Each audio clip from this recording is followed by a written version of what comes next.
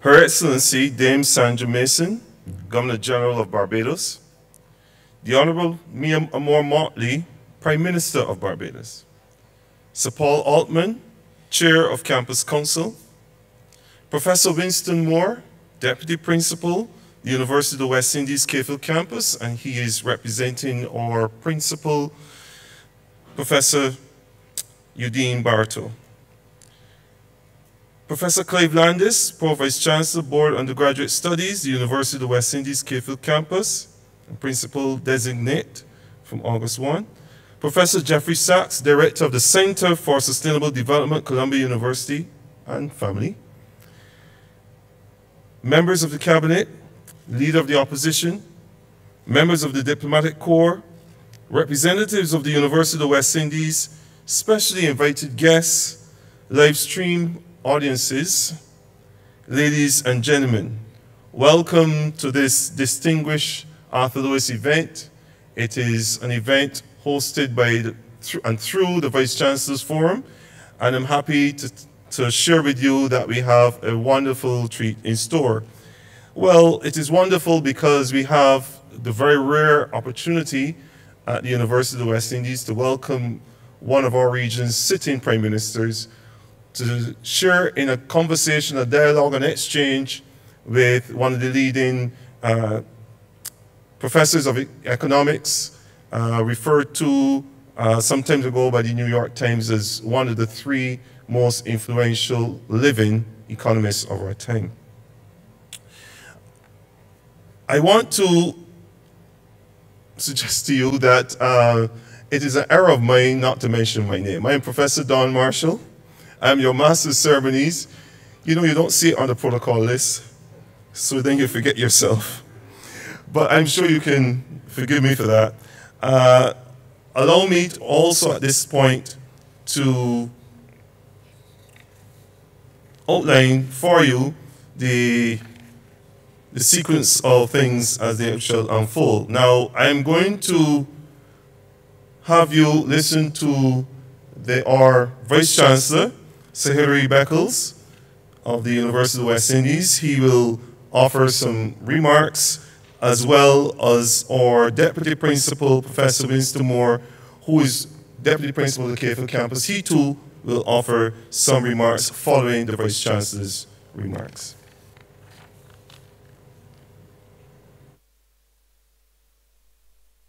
What a tremendous honor and privilege it is to participate in this program dedicated to the search for a new pedagogy, uh, new policy frameworks, and more relevant paradigms in respect of the Caribbean and other small island nation states in search of sustainable development. It is an even greater pleasure to share this space with two of the world's finest thinkers on the theme of sustainable island futures. We all know our distinguished Prime Minister, Mia Mottley, as a political leader and intellectual with a tremendous sense of care and compassion, courage and commitment to this phase of Caribbean transformation and development, which we assume to be the second fundamental phase. Most of these islands, certainly in the English language speaking area, uh, entering the 50th to 60th years of constitutional independence. We all know Professor Sachs as a tireless intellectual guerrilla in the urban jungle fighting for justice and economic development for the greater part of humanity. And this is consistent with the University of the West Indies hosting this event. Hosting this event within the context of a legacy described by President Obama when he visited with us that this University of the West Indies is unmatched in terms of its commitment to struggles for economic transformation and social justice. Uh, indeed, for the better part of its 70 years of existence, have been committed to these paradigms of economic transformation and, and social and social justice. University itself has that reputation in the world for its endemic commitment to these democratizing features of modern humanity. This conversation that we're about to participate is really a conversation about relevance, about pertinence, about creating an integrity within the identities of two world thinkers and a university, all within the same trajectory, seeking to achieve and fulfill those visions first expressed in our space by the legendary Sir Arthur Lewis, father of modern development, economics, and first vice chancellor of this our beloved university. We know of the Caribbean in its physical and political dimensions. Less known about the Caribbean is the way in which it has entered into the paradigms of economic development, certainly in the post Columbus moments of the 15th and 16th centuries, and the rise of the Caribbean at the center of global capitalism. But also at the end of the 20th century, uh, being a pioneer in the discourse about small island developing states. The intellectual history of these journeys is now being effectively interrogated. And no doubt the conversation here today will add to all of that. Let's just take the concept, for example, of globalization. Those of us who have examined the Caribbean's relation to the wider world, certainly the Atlantic world, would say that the Caribbean was at the center of this globalization initiative and have been at the center of this for the better part of 500 years. But we also know globalization to be a double edged sword. That on the one hand, while it speaks to a level playing field for all nations, we also know the fundamental truth that the nation state remains the principal building block of what globalization economics is all about. And here we see the Caribbean expose and exposing the significance of what we now call today globalization. Because, on the one hand, the politics of globalization and the economics of globalization seem to be going in different directions. Yes, the Caribbean has committed to and is embraced by and has been a part of this globalization. But at the same time, we know that it's really about rich nations versus poor nations, weak versus strong nationalisms and nation states. But the truth remains that the Caribbean has been at the center of the political construct, which is now known as the West.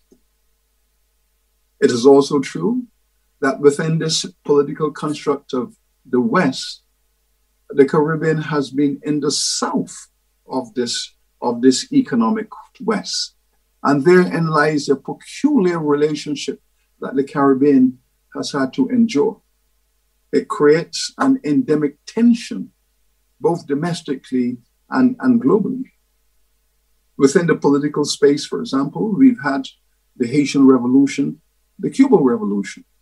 So we have we've had the Havana Haiti bridge that represents a core of dissension and objection to the fundamental principles of the economics of the West.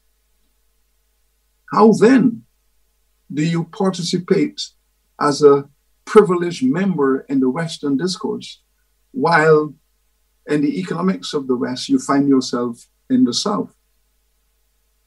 The Caribbean has never had a development program organized by those who have taken the wealth out of this region for centuries.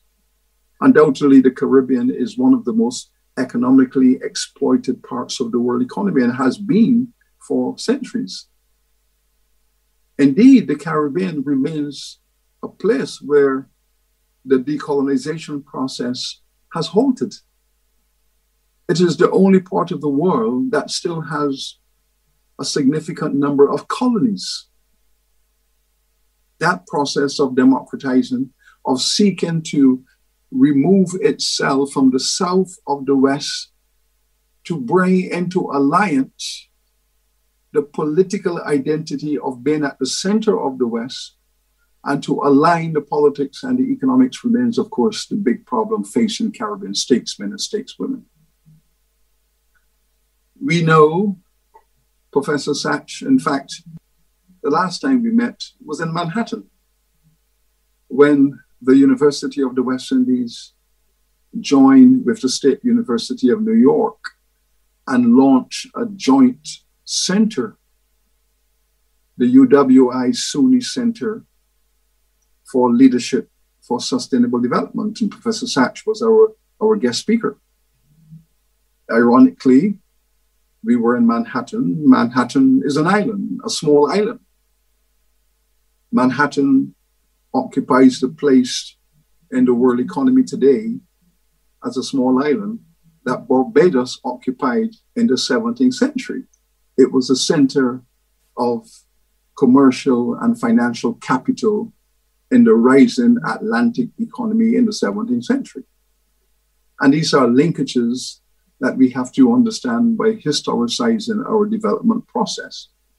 And so the Caribbean has participated in all of these, what Kamau Brathwaite, our poet, has called contradictory omens, because it has committed itself to the democratic discourse, carving and nurturing democratic societies out of the rubble of colonization.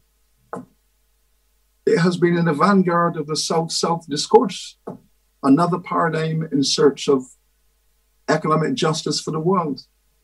It has been at the center of the anti apartheid movement, and now it is at the center of the global reparations movement. All of these movements from the philosophical assumption of being at the center of the West, but seeking in order to bring economic justice to those parts of the world that have found themselves in the south of these structures. Our Prime Minister has inherited these discourses. She is intuitively and intellectually fully understanding of them and is providing the leadership through this matrix into a world for political respect and economic justice. The Caribbean has paid its dues. The Caribbean remains a site of resistance. The Caribbean is calling for a special COVID and post COVID carve out of investment and partnership in order to facilitate its emergence as a competitive part of the world economy. The Caribbean understands these historical paradigms and is seeking to create a new approach for this 21st century. But at the same time, it is coping with what we call the triple, the triple C, the devastation of the triple C. Climate change, chronic diseases, COVID 19, constituting in themselves a cocktail designed to create an existential threat to the Caribbean civilization. This conversation, this, this Mottley Sachs conversation, is therefore one of tremendous historic moment. Two of the finest minds in the world understanding and comprehending these circumstances will be providing us with a narrative. Locating the Caribbean within its proper historical context as the foundation for a new approach, a new vision for economic justice and political freedom. The University of the West Indies is honored to be hosts of these two intellectual giants and to share with the world, the global world, the fruit of this, of this engagement. This is no ordinary conversation. It's a special conversation. It's a relevant and pertinent conversation. It is the most important conversation facing all of us in the world today. How do these small island states, how do, the, how do we look at these post-colonial states and a globalized economy insisting upon a certain control over the world's resources.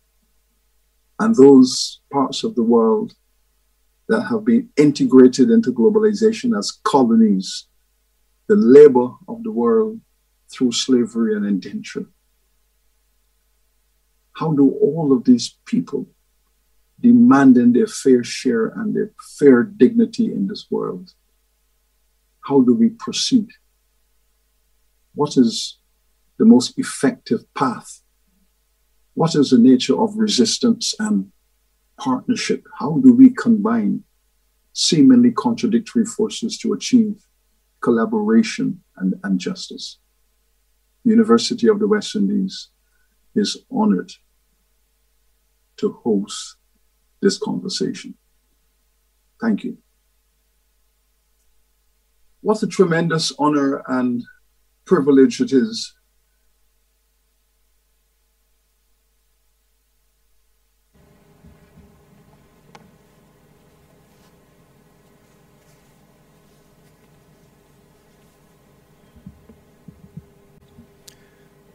Her Excellency Dame Sandra Mason, the Honorable Mia Amor Mottley, Sir Paul Altman, Chair of the Campus Council, Chair of tonight's proceedings, or this morning's proceedings, my apologies, Professor Don Marshall, Professor Clive Landis, Pro Vice Chancellor of the Board for Undergraduate Studies, Professor Jeffrey Sachs,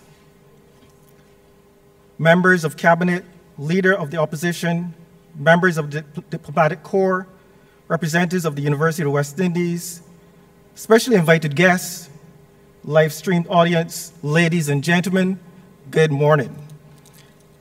My name is Professor Winston Moore, Deputy Principal here at the UWI Cave campus. I bring you greetings on behalf of the Principal and Pro Vice Chancellor, the Most Honorable Professor Eudine Barriteau, and colleagues here at the University of West Indies Cave campus. You know, I received some really great advice when I first started at the Cave campus. Under no circumstances should one provide remarks or attempt to provide remarks after Professor Beckles. Now, this morning, I'm providing remarks after Professor Beckles, and I need to speak to the organizer of this morning's proceedings. After today's session on the balcony, you know, we can have a, a very small talk, nothing too tedious. It's truly a pleasure for the Hill campus to host this Vice Chancellor's Forum. We are also very pleased that the Prime Minister, the Honorable Mia Amor Mottley, a very good friend of the UWI, is with us today. You know, the last time the Prime Minister was with us for a discussion, it was entitled A Conversation with the Prime Minister. The event drew a very large audience from staff and students. I'm sure the Prime Minister remembers that event very well. Prime Minister Mottley is a champion of small states and the challenges they face on the international stage. We are therefore very happy to have her today. Prime, welcome, Prime Minister Mottley. If we're going to share um, our Prime Minister with someone, we're very happy to share Prime Minister Mottley with Professor Sachs. Today, she's joined with the director of the Center for Sustainable Development at Columbia University, it's not often that economists receive international recognition, as we are not likely to be the life of any party. But Professor Sachs has indeed received international recognition for his work in the area of development and sustainability. Just two weeks ago, I was working on an article and I referenced one of Professor Sachs' most recent pieces of work, a very entitled, um, very important piece entitled A Handbook of Green Finance, a topic quite familiar to the University of West Indies. And indeed, in most of these welcome remarks, I normally refer to the Cave Hill campus as a smart green campus for the 21st century. Given the tremendous amount of research that takes place on the campus in the era of greening, from economics to scientific research, the campus has done a significant amount of work in the era of green economics. Indeed, working with the government of Barbados as well as UNEP, the UWI Cave Hill campus produced a green economy scoping study for Barbados which identified opportunities for greening key industries in Barbados, including tourism, we would, would have consulted with a variety of stakeholders in conducting the research, and one of the most interesting statements we received was from Mr. Roger Blackman, chairman of the Green Committee of the Barbados Chamber of Commerce and Industry at that time. And he said, looking beyond the environmental benefits, the green economy will also open business opportunities in areas such as green energy, water, waste management, low carbon transport, and clean technologies. Sustainability and green industries are expected to be among the most significant business growth sectors of this century. I'm therefore pleased that we're having this discussion on sustainable island futures, a topic that is not just for academics, but touches every citizen in the small island developing states. Ladies and gentlemen, welcome and do enjoy today's event.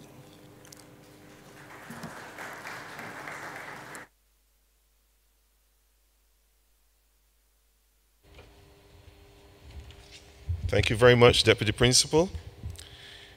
At this juncture, I wish to, I'm smiling because it's, this is a culmination of months of hard work. So at this juncture, I wish to introduce our main speakers, both Prime Minister Mia Amor Mottley and Professor Jeffrey Sachs to take to the stage.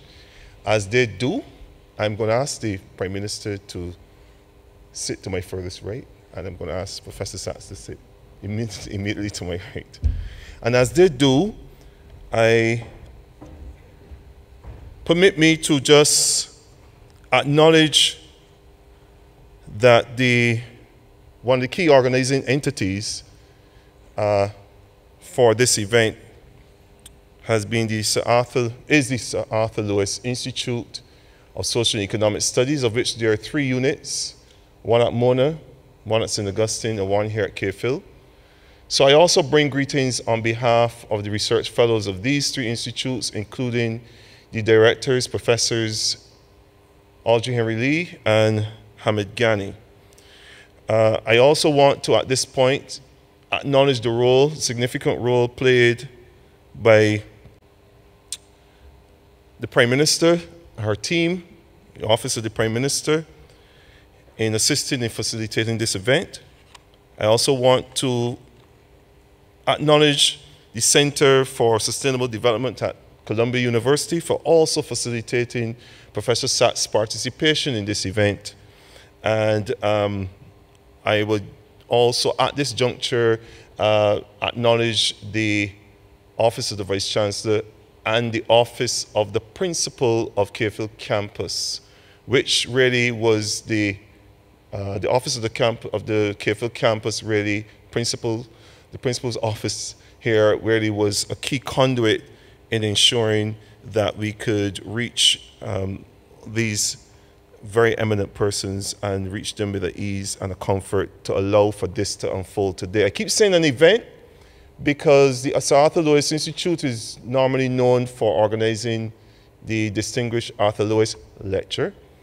Uh, to pay tribute to the first black and only black Nobel Prize winner in economics, Arthur Lewis, William Arthur Lewis. And we do so annually. And through uh, conversation and advice from the Vice Chancellor, we decided that we would, beginning this year, have a singular distinguished Arthur Lewis event.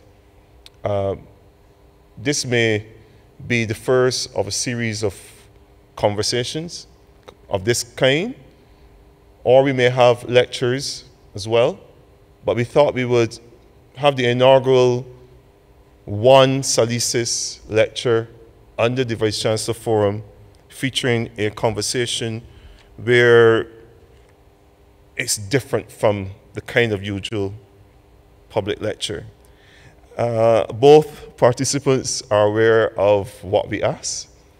And uh, at this point, I think I should uh, give you some insight behind them. I'll begin with our dear Prime Minister, Prime Minister of Barbados, Honorable Mia Mottley. She's the eighth Prime Minister of the country. She's not only the first woman to occupy high office following the general elections of May 24, 2018, she managed, she's also made history in terms of winning all 30 seats in our House of Assembly.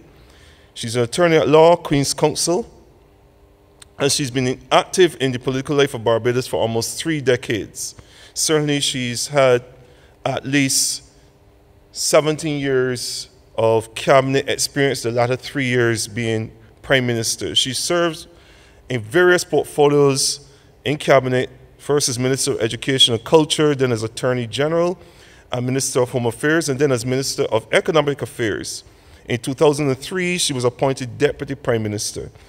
She currently holds the portfolios of Minister of Finance, Economic Affairs, and Investment. And since becoming Prime Minister, she has served as the chair of the Conference of Heads of Government of the Caribbean Community, CARICOM, between January 1st and June 30th, 2020. She's the lead and head of government within CARICOM with responsibility for the CARICOM single market and economy. She also serves as co-chair of a number of uh, important uh, processes and task forces, chair of the co-chair of the Americas Cruise Tourism Task Force for the Caribbean, Mexico, Central, and South American markets. She's also co-chair of the Development Committee of the World Bank and the International Monetary Fund, and that is to run November 2020 to October this year. And she is also co-chair of the World Health Organization's Global Leaders Group on antimicrobial microbial resistance. Uh, I also would wish to add that she has, in her short time, become a champion for small state recognition and small island development states issues. So we are likely to be well served with someone who not only has the requisite experience to address the issue, but someone who's dealing with the everyday sustainability, management, and leadership of a small island. Professor Jeffrey Sachs, he's a world renowned economics professor best-selling author, innovative educator, and global leader in sustainable development. Currently, he serves as the director of the Center for Sustainable Development at Columbia University, where he holds the rank of university professor. And he also held the position of director of the Earth Institute at said Columbia University between 2002 and 2016. He's president of the United Nations Sustainable Development Solutions Network, uh, he's a commissioner of the UN Broadband Commission for Development, uh, Sustainable Development Goals advocate for UN Secretary General Antonio Guterres. From 2001 until 2018, he served as special advisor to UN Secretaries General Kofi Annan, Ban Ki-moon, and Antonio Guterres. As a professor, he, you should be aware of some of his best-selling work, some of his leading uh, contributions to development theorizing. There's the End of Poverty, 2005. There is a, another manuscript he did, Commonwealth Economics for a Crowded Planet, 2008. There is also, uh, other books also include The Age of Sustainable Development, 2015. And I should also indicate that in 2020, he recently put out a book the Ages of Globalization, Geography, Technology, and Institutions 2020. uh, in 2015, he received, he was co-recipient of the Blue, Pan Blue Planet Prize, the leading global prize for environmental leadership. And as I alluded earlier, he was twice named by Times Magazine not only as one of the top 100 most influential world leaders, the New York Times will go on to refer to him as probably the most important economist in the world, and the praise goes on and on. Survey by The Economist ranks Sachs as among the three most influential living economists. Ladies and gentlemen, we are well served. We have to be out of here, yes. We have to end by two, but we have enough time, considerable time to have an interactive engagement following the discussion, the conversation, the exchange. I have no idea how this will flow. Both of them have agreed to allow the dynamic to unfold. Ladies and gentlemen, I bring you our two distinguished guests. You are to take the microphone. Uh, you can, I prefer you to hold it. Sorry, sorry to be so. yes, and you too, Jeffrey. All right, thank you very much. Thank you very much, Don.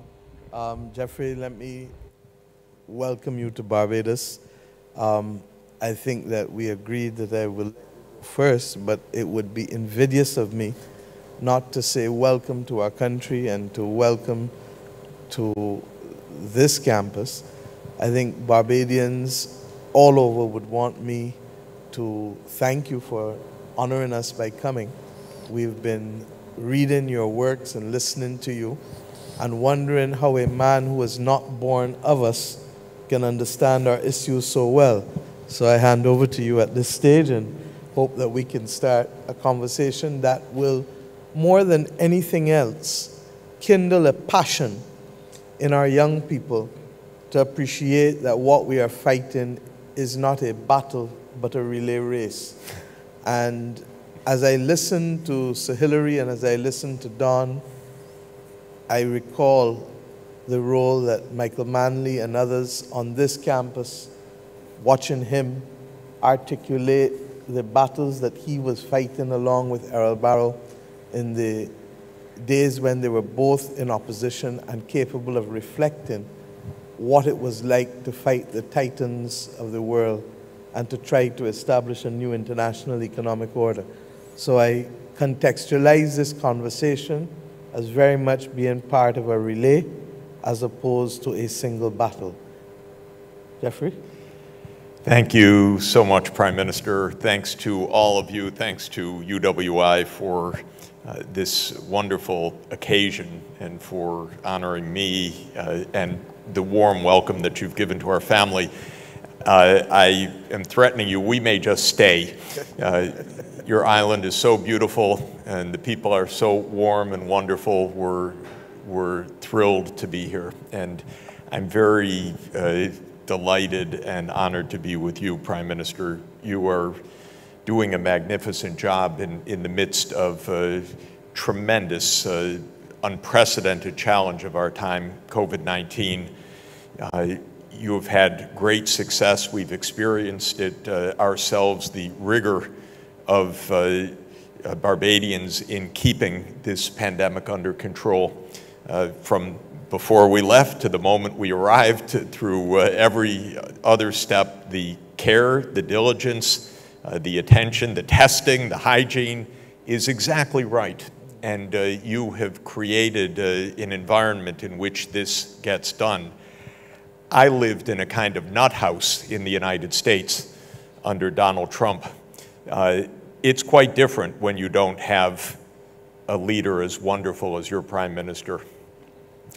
We had a psychopath, uh, and uh, he's gone, uh, but we still have a lot of psychopathy uh, in our country. Uh, and it's so nice to be here where the intelligent things are being done. You know your mortality rate in this country from COVID is less than one-tenth of the United States. That is a tremendous accomplishment. I, I know how much the Prime Minister is appreciated, but I want to appreciate her uh, for this moment. Her, her, leadership is not only wonderful, but it has saved a lot of lives on this island. Uh, and I think we should thank her for that if, if we could. Thank you, but let me thank all of Barbados because if ever there was an effort that required everyone, it is this effort. And it is really the people of this nation that have made us proud. But thank you. It's, it's really true. And uh, if I might just uh, riff on that for one moment, uh, you can't control a pandemic without social capital, without social cohesion, without people trusting each other, without people acting together, without people behaving, uh, behaving normally. We don't have that in the United States right now. We have insurrections, we have people yelling at each other, shooting each other over questions of masks. It's a kind of crazy country at a, at a very difficult moment. But it's also true, Prime Minister, I'm going to insist that the quality of leadership makes a big difference in the nature of the public's reaction. And I, I do want to say, I think it's scientifically provable that women have been better leaders during this period than men, systematically. I will give you a biased uh, sample. Uh, Trump, Bolsonaro, AMLO, Boris Johnson. There are no women in that list. You know what that list represents? Narendra Modi. That list represents the countries at the top of the world in deaths. Because not one of those leaders took this appropriately. Not one of them. And all of them, Brazil, 500,000 deaths the United States, 600,000 deaths. India officially about 300,000, but my Indian epidemiology colleagues tell me it's maybe five or 10 times more because of underreporting of deaths in the countryside. Many of those leaders got sick because they weren't taking precaution and they were telling others, don't worry about it. It's nothing and then catastrophe in those countries. Then I compare with you, but I'll add in uh, Jacinda Ardern uh, of New Zealand, who went for months in New Zealand with not one case because they took it seriously. Another two islands there uh, in New Zealand. And it's interesting, uh, I often praise the Nordic countries. There are five of them Sweden, Norway, Denmark, Iceland, and Finland. It happens that four of them have women leaders, women prime ministers. That's, first of all, not an accident because they're well governed countries. But if you rank them, the one with the man had death rates more than twice the next one and almost 10 times the others. That was Sweden, which is a little odd. He lost a vote of confidence today, by the way. Uh, the other four are very popular. So I don't think that it's an accident. I'm rooting for more women leaders, first of all, as a general matter. And I'm wondering whether, for the men here, whether our side of the species can learn something to behave because too many of the leaders don't. And to put it very seriously, what we need more than anything in our countries and in the world is cooperation. And yet there's a, a brand of politics like America First, which on its face is, a, is dangerous. But the divisive politics, the politics, I'm going to club you over the head, uh, the politics that's winner take all, the politics of Cold War, which the United States is provoking with China right now. This is the biggest danger that the world faces because all of the issues that we are going to discuss and that the Vice Chancellor raised in his uh, very eloquent statement cannot be solved by confrontation. They will just get us deeper into the mess. And so for me, especially now, this is my 21st year of working with the United Nations continuously. they owe me 21 bucks, by the way. Uh, I work for a dollar a year uh, for the UN. They haven't paid that dollar yet, so, uh, but that's all right. I'm still uh, giving, giving them credit for it. But seriously, I regard the UN as our greatest hope because it's the rule-based international system. Uh, it is the system of diplomacy, which I adore because diplomacy means people talk to each other, even if they come from places that don't cooperate well with each other. They talk, which is so important. But we're at an extraordinarily fragile time, which I think is why I know what you say will be very important. I hope I can add something. Uh, but what the Vice Chancellor mentioned is not hyperbole in general the discussions that we're having these days in the world are really consequential. I think they're the most consequential discussions that the world will have had since the end of World War II. Because the end of World War II was, of course, uh, a, a moment of history that required fundamental reorientation. And one of the good things that happened then one of the best things that happened then was the adoption, the uh, formation of the UN. I'm proud to say uh, this was uh, the work of the greatest American president, Franklin Roosevelt, to a very large extent, his vision. Uh, many difficult things happened at the same moment, starting the, the Cold War with the Soviet Union we're probably at a similar point in history right now where the number of tectonic plates moving in the world are shifting things so dramatically that unless we are able to take a cooperative perspective on them, we will lose not only a historic opportunity, but tremendously endanger ourselves and the whole world. And so if I might, just a couple of quick observations why I think that, and then uh, would love to hear your perspective uh, on, on that, of course.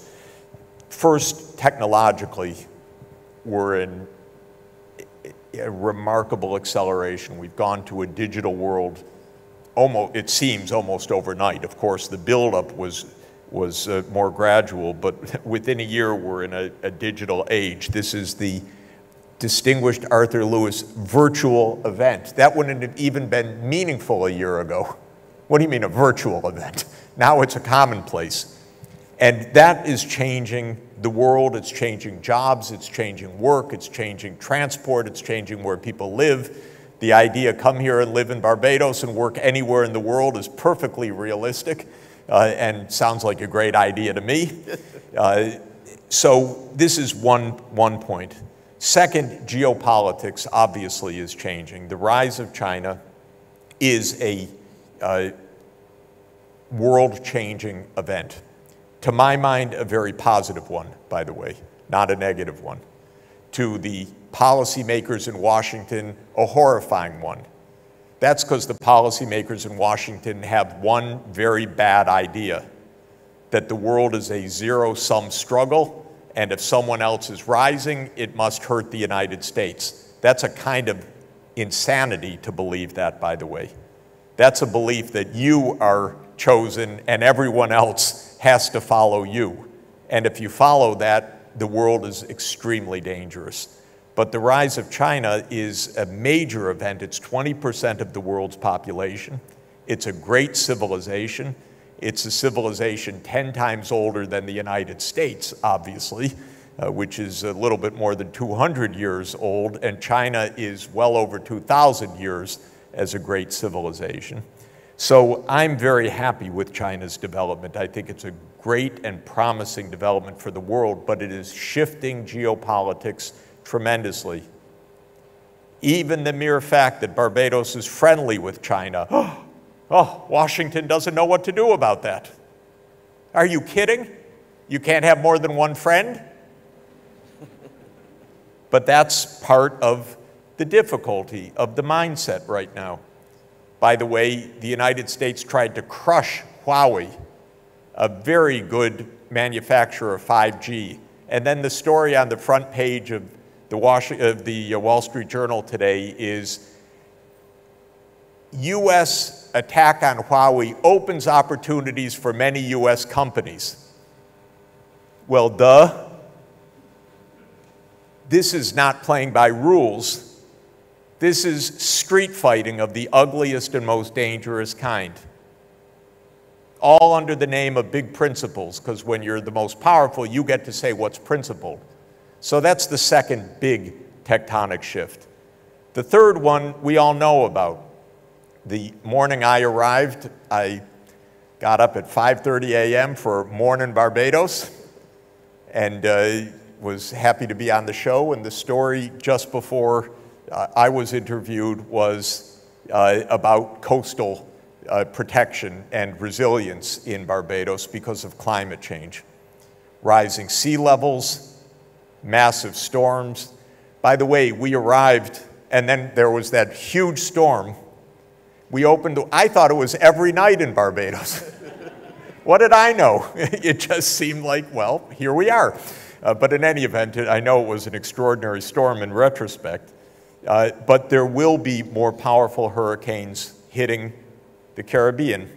No fault of the Caribbean, of course, all due to the continued reckless promotion of fossil fuels by the rich countries, knowingly more than 30 years or 30 years after signing the UN Framework Convention on Climate Change.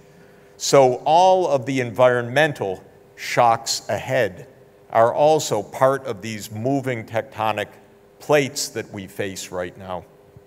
The United States is obviously in a deep transformation because a white supremacist culture is past due. You know, it's stale, but they're trying to hold on. And that's what Trump was all about. And our demography is changing, thank goodness, and the mindsets are changing. But the Republicans, till this day, are trying across 47 states in the country to put in voter suppression laws because that's what they understand from American history suppress minority votes, and maybe the whites can keep in power. And so, this is also part of what's going on right now, why the United States is so unstable. Because we're in the midst of a demographic change in a good way. And the young generation with much better ideas than the old generation. But it's very tense right now in the United States, very unstable, right down the line. Mitch McConnell, nasty man descendant of slaveholders without shame, trying to block the reforms that we need. So we're unstable as well. Well, it's a complicated situation. I've been in development economics 41 years. I've never experienced anything like this, and I was at the center of the 1989 to 92 revolutions in Central and Eastern Europe and the former Soviet Union. I was an advisor to Boris Yeltsin. I was an advisor to the Polish Solidarity. That seems modest compared to all the shocks we're feeling now. And so that's why we really need to gain perspective and really work out a way to achieve what we have promised we believe in sustainable development, which means socially inclusive development that is environmentally sustainable. And that's the drama right now. Last word I'll say just this moment is uh, Secretary General Antonio Guterres is a wonderful person, very bright, uh, really bright, uh, very concerned, extremely decent. And the good news is, by acclamation in the UN General Assembly a couple of days ago, he got his second term. This is wonderful. I know him well. There's not an ounce of cynicism in him. He's trying very hard. He knows the odds are not simple, but he's working very hard on this. I thank you for pausing at that point because both what you said at the beginning and how you ended brings us back to the reality that 76 years ago, when the United Nations was formed, we didn't exist as a nation, and the majority of the world was still very much in colonies.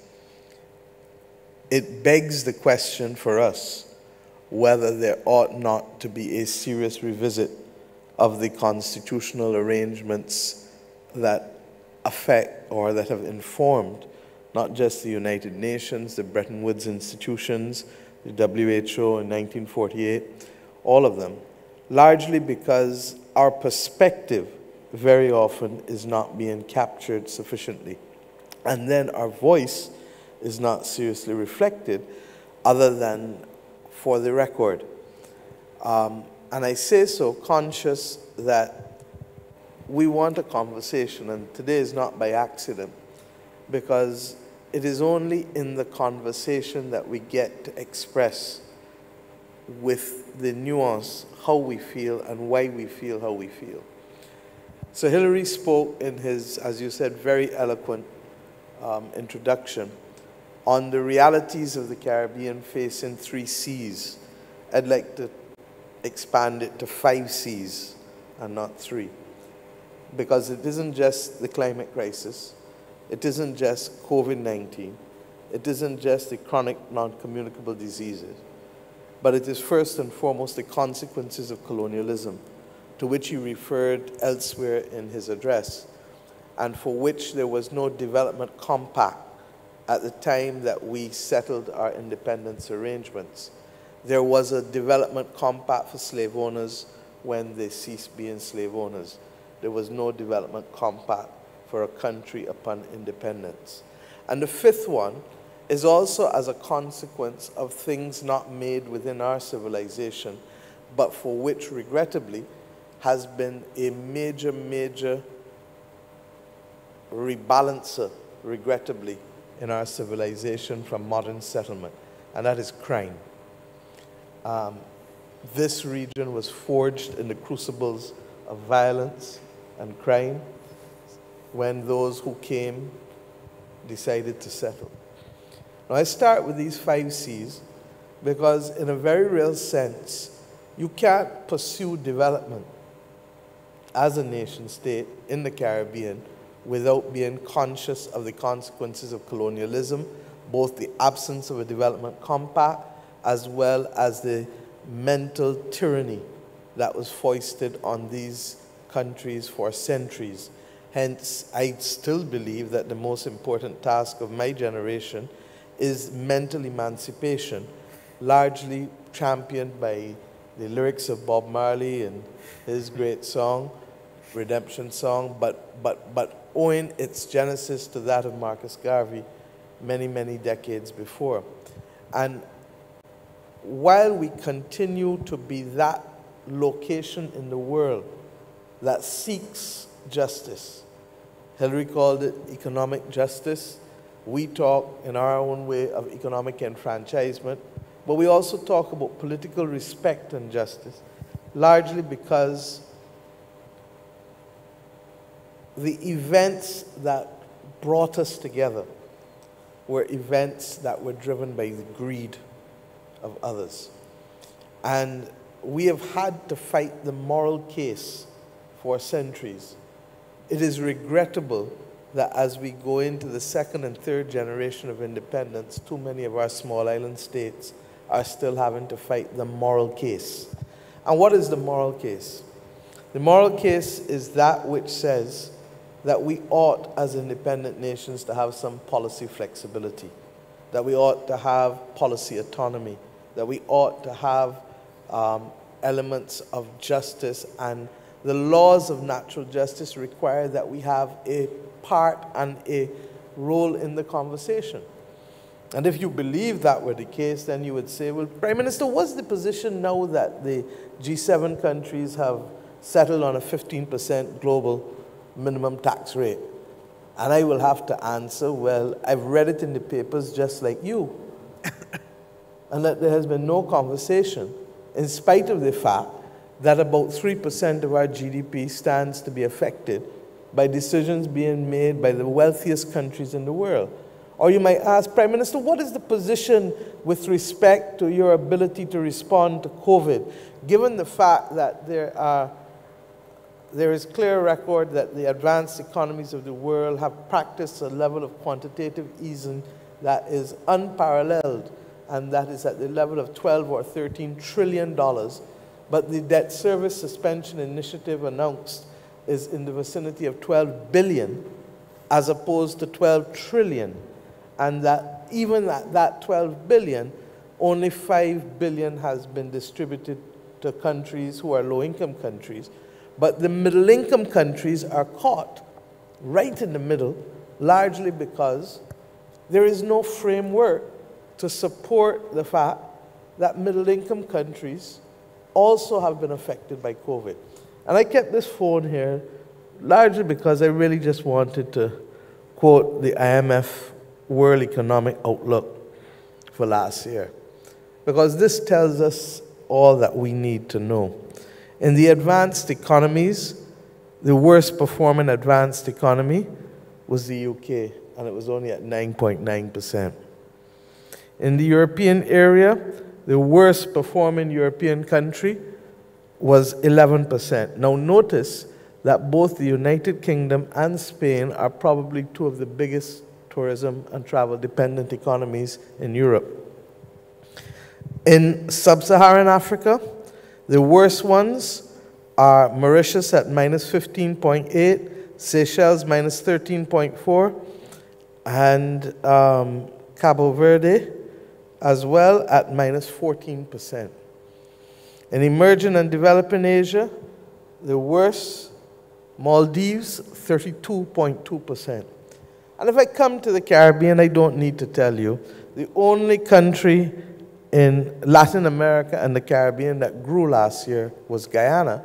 But the worst news is that the countries that were all double digit all rate from Antigua, Bahamas, Aruba at the highest end of minus 25.5%, down to Jamaica at minus 10.8, and of course Barbados, Bahamas, St. Lucia, all of the rest of us roughly at minus 17, minus 18. Now, this carries us back in nominal terms at least a decade, and in real terms, it is arguable possibly two decades. But yet, the global community is not prepared to settle a framework for middle income countries, but will only want to include those countries, tourism and travel dependent, that are low income countries. So there is no compact, there is no framework. Indeed, there is almost a penalization for managing your affairs well during the period of independence, such that you move from low income to middle income to even upper middle income. But what is our reality? You experienced it last Wednesday night when you arrived that we could be subject to a storm that as of yesterday morning, I'm now seeing there are 100 houses that have been affected, and the number keeps growing. That we have potentially before us a system that can reach here by Friday that is east southeast of us, and that we pray will not be picking up any serious strengthening during the course of this week. But all of that speaks to living on the edge living on the edge, and we bring it to the fancy word vulnerability. And for 30 years or more, one of my um, advisors, Professor Persaud's father, when at the Commonwealth, was fighting for a vulnerability index since 1989. In 1989, I had just started to practice law. In 1986, the United Nations settled that we had a right to development as an, an inalienable right. And we ask ourselves today, as small island developing states, how can we build our future if we, one, still cannot settle our right to development, two, still cannot reflect our reality, which is vulnerability? Because as much as I may do well day by day by day by day, that which I face can take it all away from me within 24 hours. Now, that is the definition of vulnerability. And there has to be something fundamentally immoral about a global community that is prepared to use proxies that are convenient to them and to economists and to bureaucrats, but bear no relationship to the quality of life of our citizens, which we set out to protect. Set out to protect in the Charter of the United Nations being established in 1945, set out to protect when the UN accepted that development is an, is an inalienable right, set out to protect each time we meet and each time we bring these high sounding declarations, and each time we recognize that, that, that this is the way. Now, where is the problem? Like you, I have tremendous respect for the Secretary General of the United Nations, and I think all of us are absolutely happy that he has been reappointed by acclamation because I think he has a moral center that the world needs more than ever.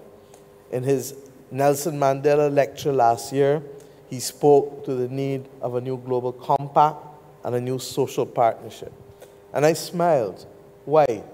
Because this country settled a social partnership back in the early 1990s. This country still has that social partnership. And to the extent that we were able to pull back our economic circumstances before the advent of COVID, it was largely as a result of us using, respecting, and working with that social partnership from the very first day that we took office as a government, where the mission at hand was the saving of the Barbados dollar first and foremost. How do we prevent its devaluation? And thereafter, the use of the social partnership to set national goals, national missions, I believe last week, only in the Willie Demas lecture that the CDB had, the reinforcement of settling missions to be able to trigger development was, was spoken at, at great length.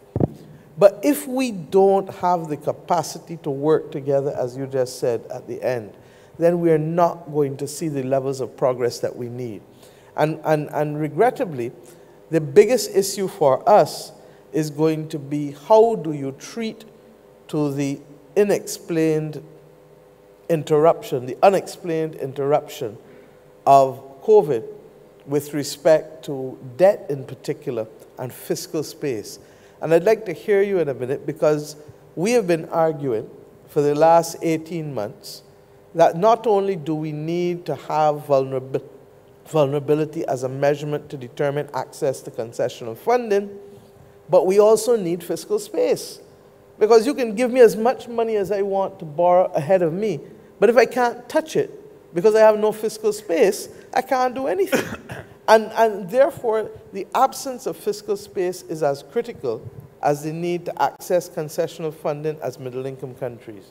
And a little known fact by the world is that over 70% of the world's poor actually live in middle income countries.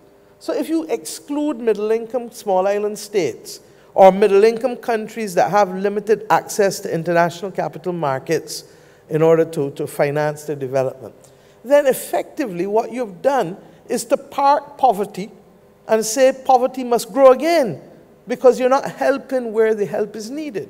And therefore, the absence of conversations, the absence of global cooperation, all of these things are conspiring to be able to carry us back decades rather than propel us forward. And, and I'm asking that against that backdrop, we would be interested in hearing your perspective as to how the world should treat to the COVID related debt, particularly of tourism and travel dependent countries, where the absence of revenue from tourists was almost complete, and where we've had to not only make up for the absence of additional purchasing power because of the absence of tourists, so it has affected your farmers, it has affected your merchants, it's affected your transport sector, it's affected every area of economic activity. And at the same time, we're still being required then to be able to pull out of our own resources to sustain protection for the vulnerable while sustaining protection for the productive sectors, etc. Now, our view is that that funding should almost be ring fenced and refinanced into long term debt in the same way that the British government was able to be able to find a way to treat to its war debt on a long term basis so that it could continue the effort of building back its country after the damage it sustained in the war. And, and it was two completely different missions requiring two completely different sets of money, but that if they had to carry the war debt at the same time as they were trying to rebuild their country, you would not see the Britain that you see today. Today, you're asking Caribbean countries and other small island developing states to carry the debt of the last 18 months, in some instances on top of high debt already, but to do so against the background that if we were forced to continue in this way, there'd be no fiscal space left for us to resume the development trajectory. And why? Because of a pandemic not caused by us and a climate crisis that continues to impose on us year by year additional obligations that we did not plan for. And let us go further. International organizations like the WTO that are formed that refuse to accept that a one size fits all prescription does not work, and that countries such as ours that have a contribution to global trade in goods of 0.0000% and global trade in services of 0.00001% can do little to distort the global market and hence to impose on us rules that have led to the destruction of our indigenous manufacturing sector and capacity to have any form of industrialization have been a cruel and unusual cut by a world that simply does not see small island states, does not hear small island states, and is not prepared to treat to us until we become a crisis, either in the form of migration or global insecurity or terrorism. Like to hear your views right. on a lot that I've put there, but equally and most importantly, how do we treat to the COVID debt if we are to resume the development trajectory and your baby of the SDGs and MDGs? Thank you. Thanks a lot, and that is indeed a lot on the table. And uh, let me try to take some uh, some parts of that. First, uh, to say how weird and uh, and uh, dangerous is the way that the uh, economy has responded to COVID. The super rich have gotten super richer beyond imagining precisely during this period.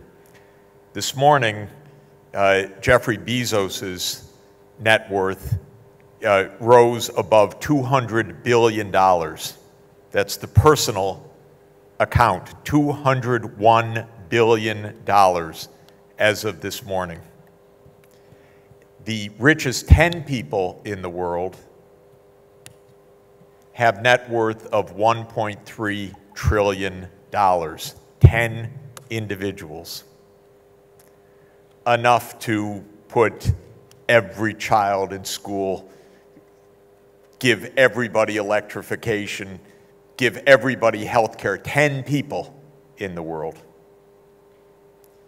The richest 500 people who are listed daily, I'm a kind of billionaire voyeur, I have to tell you. Uh, I go on the Bloomberg.com website to look at how the billionaires are doing. Just fine, thank you they are at around seven to eight billion dollars for the top five trillion, excuse me, for the top 500 people. So even if each of the 500 had a billion, which I'm told is you could get by with that, that would be 500 billion, but no, it's about 8 trillion. Because they have wealth that no human being if, if they lived for thousands of years, could, could, could uh, use. It's beyond belief, and it's rising rapidly because the tech stocks and the uh, home delivery and the online portals soared in value and people in the front lines, in shops, in, uh, in daily life, lost jobs, lost income, uh, lost their livelihoods.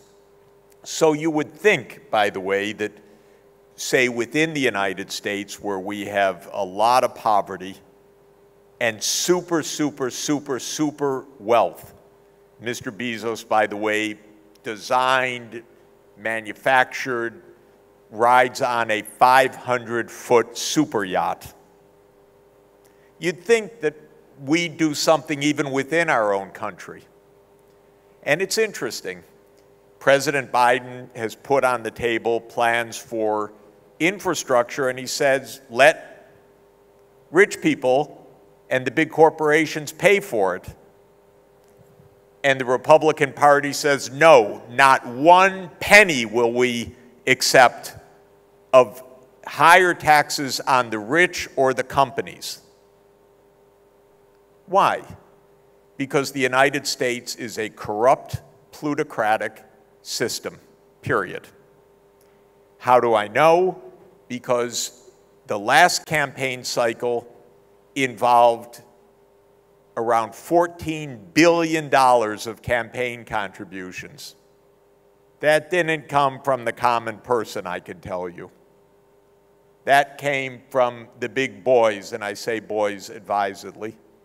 First, they act like boys, and second, there aren't too many women in that category. And they own the political system right now.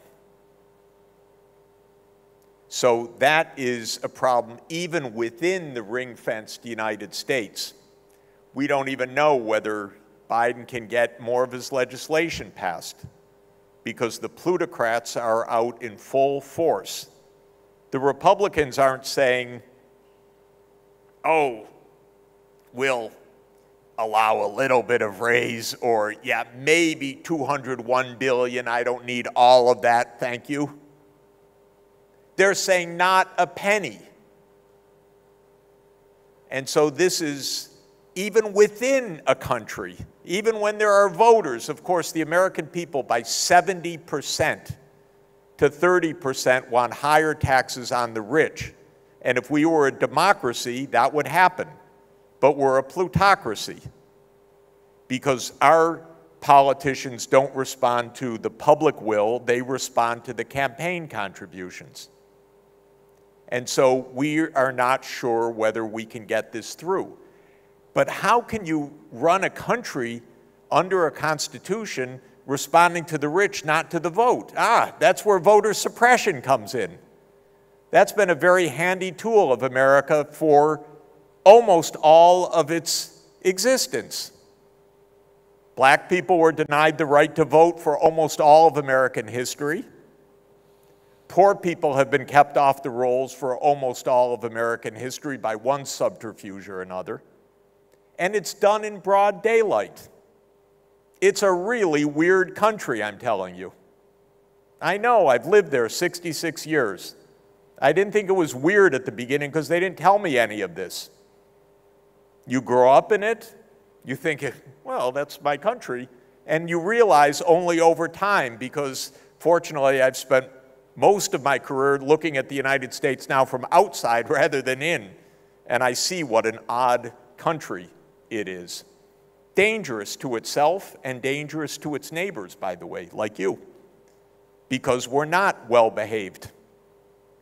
So, this is a first point that I would stress. What makes this hard? I'm not giving up, but it makes it hard.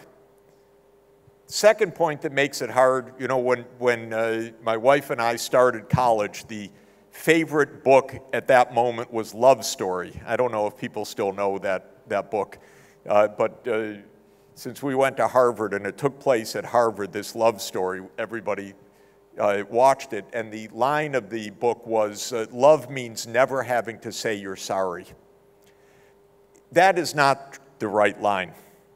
The right line is power means never having to say you're sorry.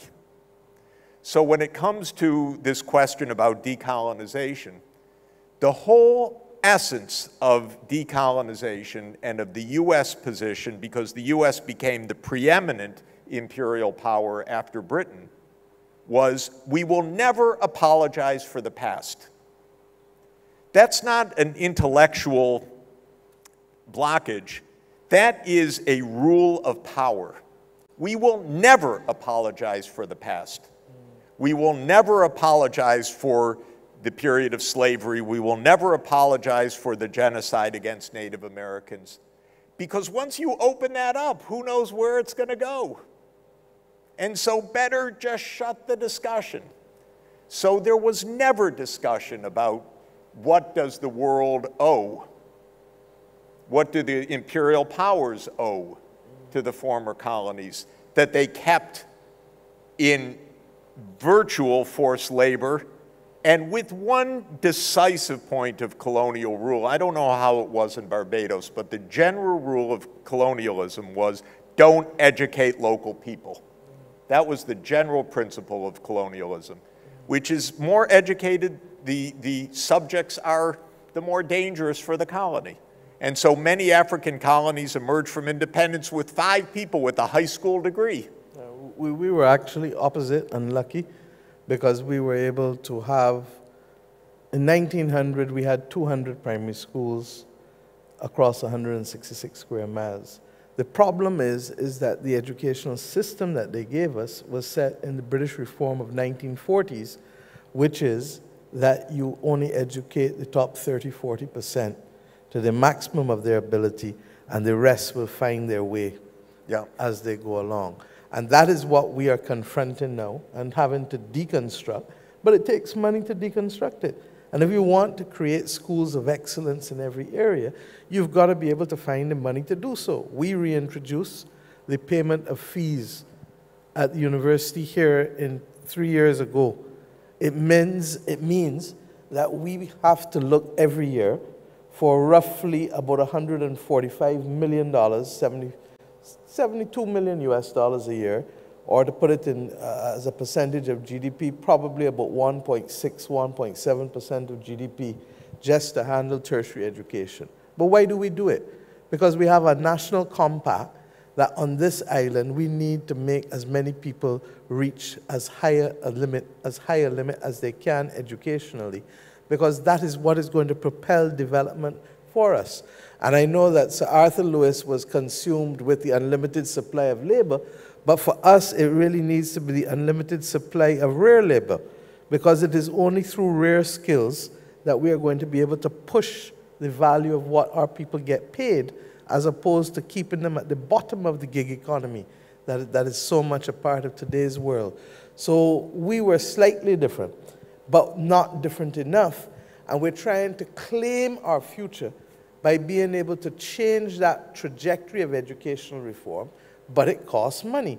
And if you have to be spending money fighting storms, fighting droughts, fighting all of these other things, then you don't have the fiscal space to do that which you ought to be doing in terms of education and healthcare and, and, and, community development and the other things.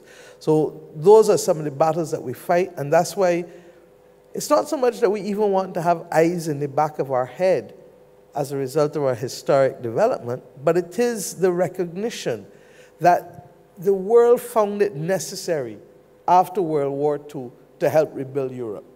The world found it necessary to allow the Britain to be able to, to, to do what it had to do in terms of the bonds. It is amazing that what is required to stabilize this part of the world as small island developing states is a fraction of what was used with the quantitative easing by the advanced economies of the world. It is almost like the, the, the, the, the, vaccines that are being allowed to expire in, developed, in the developed world, while those people in the developing world have to watch people die simply because there's no access to vaccines.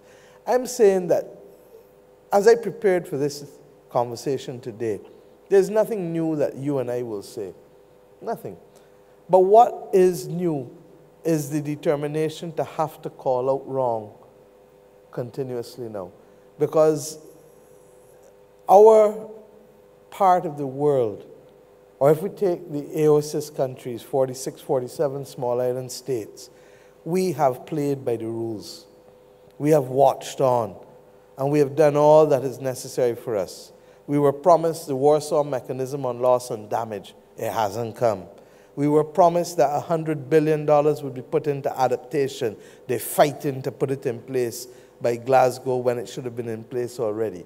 So that when you see all of these things and, and, and, and, you realize that the simple pleasures of wanting to pursue development rooted in education and healthcare and all of the things that we know as human beings we should want to do, all of that is being compromised by reason of these other events that we have to respond to, that we have little capital to respond to, that we had little intergenerational wealth from which to respond in the first place, and that what is required just simply to allow us to close this chapter is that conversation that says, look, let us put a development compact in place that will allow for a successful neighborhood.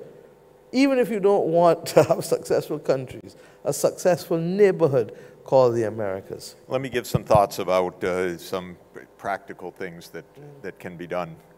Uh, I do think because of the tumult that we're in and the fact when you read from the IMF report, the startling fact that rich countries have borrowed and spent to respond to COVID $15 trillion, whereas poor countries have had to undergo austerity. So it's not as if the rich countries are tightening their belt and saying, well, you should too. Quite the contrary. The United States spent deficit spending $7 trillion. That's a lot of money. Maybe not for those billionaires, but still a lot of money. $7 trillion within 14 months from March 2020 to uh, May 2021. Now, why didn't the poor countries do it? Well, they're not creditworthy, quote unquote. And it was interesting uh, for me. I was on a call yesterday with the Danish cooperation minister in a Zoom meeting, and it was a meeting about Kenya. So I looked it up.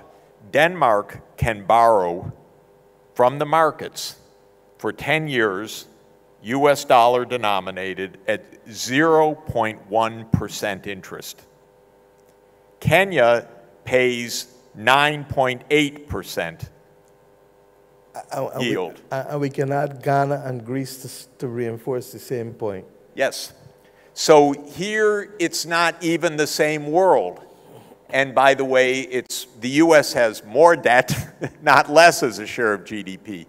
Why does the US, why can the rich countries borrow so much so easily? Not because they're so responsible, but because they own the central banks in which the debts are issued. If you had the Fed, you could borrow too.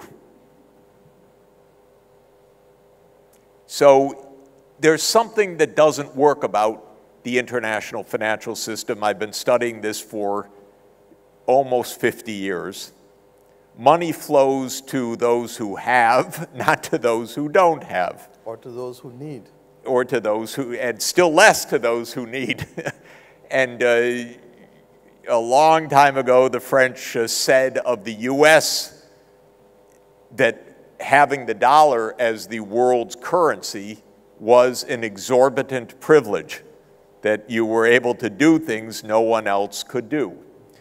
This is part of the mystery of this, not better behavior, uh, obviously, the United States did not have better behavior or more credibility for that matter, or a lower debt ratio, or more taxes to cover debt service. None of that. They have the Fed, they have the Federal Reserve Board. So this means that we need to have a Bretton Woods II meeting now. What does that mean in historical terms?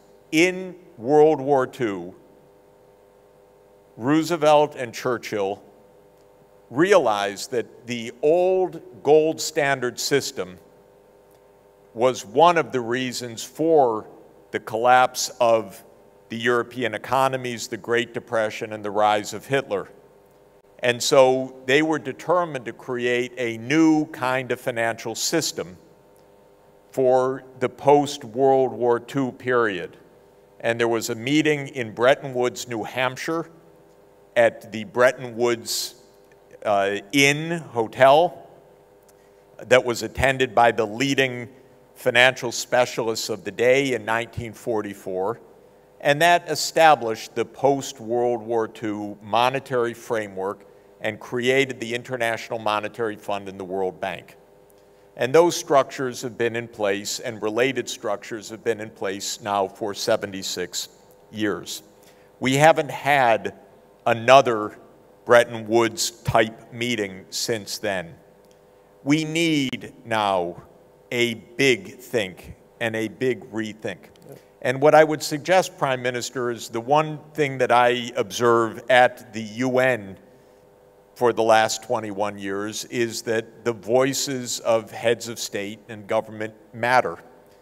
Because the UN is, in its wonderful way, a place where you're represented.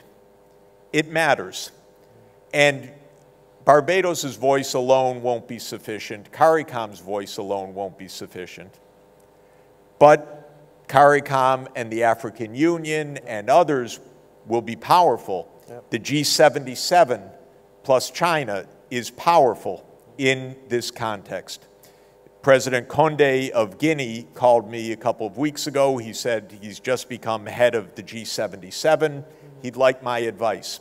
My advice is a new Bretton Woods meeting uh, because I think that there is enough objective evidence that we can't get by simply with tactical maneuvers like what they called the, the uh, DSSI. Yep.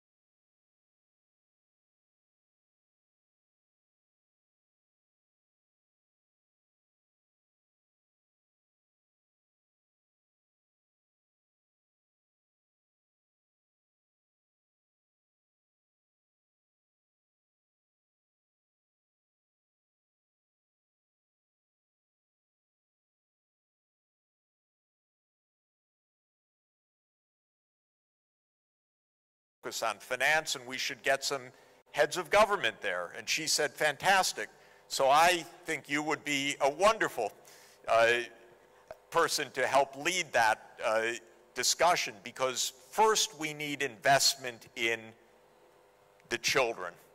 Right. And there are hundreds of millions of children not in school right now. That's right. Both because tragedy. of COVID and poverty. Second, if I might, uh, Prime Minister, we need help for climate adaptation, for you, for the coastlines, for the vulnerability. This has been promised now since 2009 and never delivered. Yep. I can tell you stories about that 100 billion that was promised. It's shocking. 100 billion dollars that's nothing in this world for rich countries to make available to poor countries, including loans per year, but they haven't done it because they're not serious so far, even though the climate crisis is as serious and existential as it gets. So we need climate adaptation, we need climate mitigation, because we need a zero carbon power system for the world. And fortunately, Barbados can power all of Barbados and a lot more with the wind power you have. You have a lot of wind, especially offshore, which is low cost. You have sunshine. You've innovated in direct solar heating of uh, home water already, pioneered in that actually. And so you could be 100% and will be, I have no doubt about it, but it needs financing. And then we need financing for digital because everybody needs 5G. As far as I'm concerned, Huawei would be great, by the way. Or any other 5G. I just happen to know that Huawei makes a wonderful product. But the point is, we have a world where a certain part of the world is online and working from Barbados anywhere in the world. But the part of the world that's not online is falling hopelessly behind. Their children can't study, you can't get telemedicine, you can't get a license uh, of government services. This is a phenomenon around the world. So the Secretary General has called for universal access to digital services by 2030. I've studied the problem a bit. This is affordable and financeable, but not on the status quo. So my view is we need to call for a Bretton Woods for financing sustainable development in the world. That would include restructuring debts so that they don't become an overhang on the future. And one of my papers that I'm most proud of in my academic career was a paper called The Economics of the Debt Overhang in 1987, which described theoretically for the first time how an overhang of debt kills development. And it played into the HIPC initiative and so on uh, 20 years ago. So, debt restructuring, but even more important, is large scale new capital flows for education, for adaptation, resiliency, decarbonization, and digital economy for everybody in the world because then we have an inclusive world where every child is going to get a chance. And by the way, if the children learn they'll have a chance. We don't know what kind of jobs they'll be in the future, but I guarantee you better educated children today will be the ones that will be able to earn the good livelihoods in the future. And that is why we need the education so much. Well, the financing doesn't add up right now.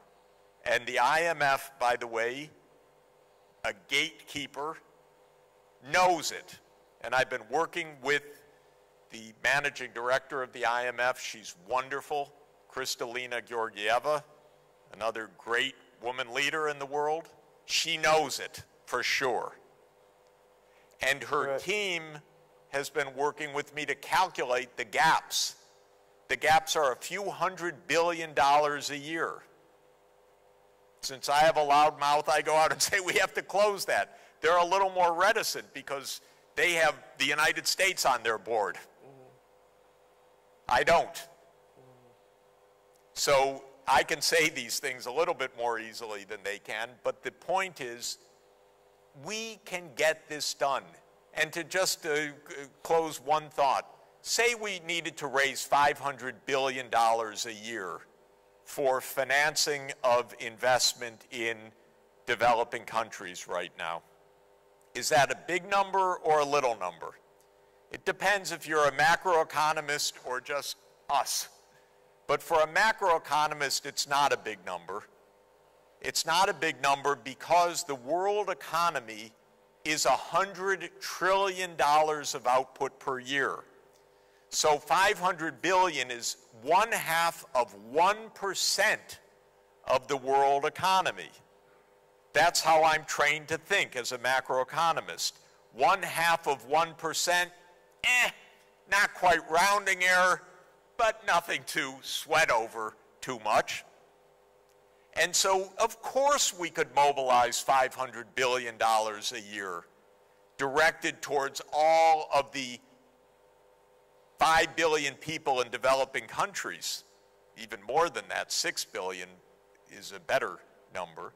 Of course we could do that and need to do that and will do that, by the way, because it would take profound acts of dishonesty to deny what is staring us in the face now. Absolutely. That this system is not working. It's broken.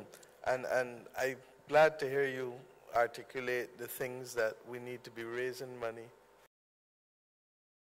It Coincides with our own development perspective nationally um, with respect to education, with respect to greening, with respect to climate adaptation. I mean, our major project, we, could, we said, look, we don't want to do a series of small projects. We want to do projects that will be transformational. And that is how we came up with the concept of roofs to reefs, because our roofs are at risk, as we learned last Wednesday night with the freak storm. And we have serious issues with our runoff, which is why we're trying to fix not just the South Coast Sewage Project and the Bridgetown one, but trying to test new theses as to how to be able to deal with the West Coast. Because if we built a traditional sewage treatment plant, that would be about five, six hundred million dollars whereas we may be able to use other mechanisms being suggested to us by our engineers, one of whom is in the audience, Dr. Seeley, um, and, and then tie that with the reverse osmosis in order to be able to augment supply ultimately. But the bottom line is that even as we are seeking to do these things regionally, you're absolutely correct that we need a new rethink of how the Bretton Woods institutions can be reformed to meet the needs of the day. To continue, and, and I'll give you an example, and the others laugh at me, including my foreign minister, every time I say it. To ask me to tell you whether I'm eligible for borrowing from you on the basis of per capita income that is two years old is asking me to take my blood pressure from two years ago to tell you whether I'm going to get a stroke today or not. So we know it is wholly inappropriate. We know it is wrong. We know that the needs of the world in terms of skills and education is here. We know that we need to deal with digitization and the digital divide. My greatest fear is that in a country that closed the gap with education, that as we seek to move forward, if we have to deal with digital delivery of education, then we need instruments that are affordable for on a sustainable basis. So you can't give me an iPad or one of these. The majority of the world's children will not be able to afford it. But you need something that is literally capable of ensuring that the delivery of education to every child. We had a saying for our green paper in education 30 years ago each one matters. And the absence of that is what is causing problems. Now, I make the point because Sir Arthur Lewis was big on knowledge, wasn't he? And he felt that knowledge would help carry us over the line. But what he didn't realize is that we were going to be living in a world full of greedy people. And that it is not just knowledge that is needed now, but it is also ownership. And, and that is why, in all that we're trying to do, look, renewable energy has the capacity of not only saving us from the worst of the climate excesses, but it has the ability to level the playing field in terms of ownership and in terms of access to wealth in this country. And if we in the Caribbean don't use it as a leveler, then we will have lost the greatest opportunity given to us post independence. And where are we seeking to do it in Barbados? One, the agricultural sector, sugar industry in particular, cannot survive without being linked to the renewable energy industry largely because the profitability and from the scale of what we're farming is just too small. And, and, and when you combine that with the rules that have been imposed on us by the World Trade Organization that prevent us from being able to protect our own food production sufficiently, then you have a problem. Now, why have we gone for UNCTAD? Because we need to carry a chair to the table. And if they're not going to give us a chair, in the words of Shirley Chisholm, we can bring a folding chair to the table. Why? Because we know firsthand that our farmers cannot compete year round without protection. But then we want our farmers to give us food when there's COVID or when there's a hurricane. So how do we expect them to be there for us if we're not prepared to protect them year round? The only way we're going to protect them year round is if the world starts to accept that food security for islands goes beyond the economics of the moment and that this is a fundamental right that countries that don't have access to larger markets easily you need to be able to produce your own food. You need to be able to make the best use of your resources um, domestically, as Arthur pointed out for us again, too. But there is not that appreciation either in terms of giving us those exceptions, in the same way that we are not prepared to carve out for special and differential treatment for small states that have no negative impact on a global economy or global trade. We also need, in addition to that, to recognize that some of the other things that we have to protect in terms of being able to propel education. I don't know how we are going to get out of this moment without a dedicated 10 to 15 years of emphasis on education and training. And, and, and, it's not just for the Haitis of this world, for which it is absolutely patently obvious, but it is for the countries like us who appear to have done well, but for whom there is still a bridge to cross if we are going to literally marry what we can transform and do in terms of the digital economy, but at the same time, the ethics that's necessary to root training and development in this world. And, and as I said, ownership matters so that here's where we're going the sun, the wind, the sea, if it is oceans, all of that can help be that leveler to which I spoke just now.